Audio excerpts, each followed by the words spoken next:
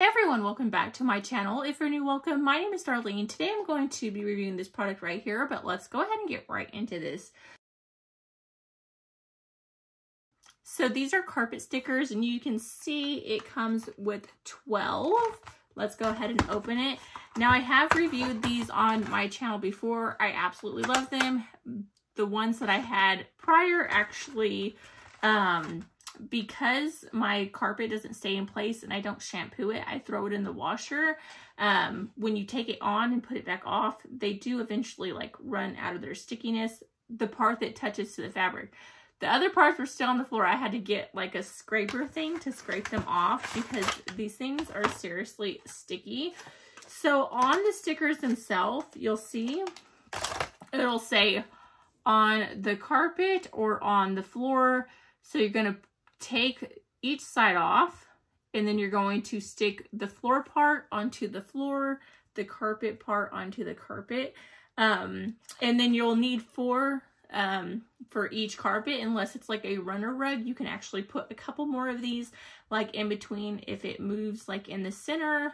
I'm just using a little like rectangle one for the front of my door. So all I'll need is four of these, but let's go ahead and see what they look like installed. So as you can see, this is going to be the rug that I will be using.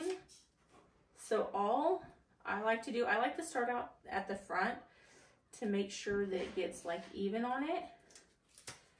And I'm going to start off by placing it where I want it to go, which is right there.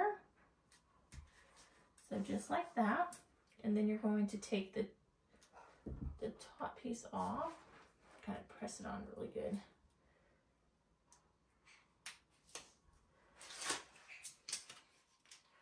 And then you're going to line this up exactly where you want it and then push down. So I'm going to do that to this other corner. And as you can see, you are not going to be able to move this. Now, if you did want to just secure it more, you could put some like right there if you really didn't want it to move. But this is fine. The other one I've had on for probably about six months. And I did take this off and wash it multiple times before it did lose its stickiness um, from there. But um, it works amazing. And then I actually placed this mat on top of there just so it doesn't get dirty as fast. So, just like that.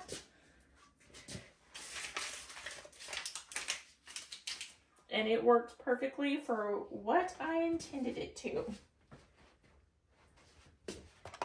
But yeah, that completes this video. Thank you so much for watching. Bye. God bless.